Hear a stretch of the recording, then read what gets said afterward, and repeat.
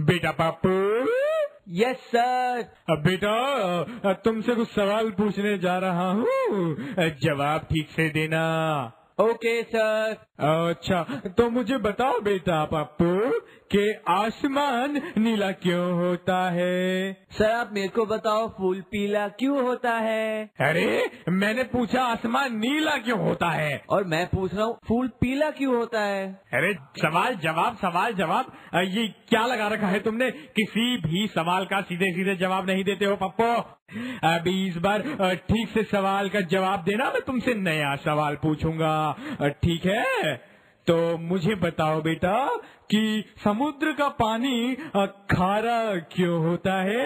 Sir sir मैं जानता हूँ। मैंने ना इसके बारे में एक कार्टून देखा था। तो एक बार ना ऐसा हुआ था कि एक बहुत बड़ी बोट थी और उसमें ना पचास लाख करोड़ टन नमक था। वो बोट ना डूब गई इसलिए समुद्र का पानी खारा होता है। क्या?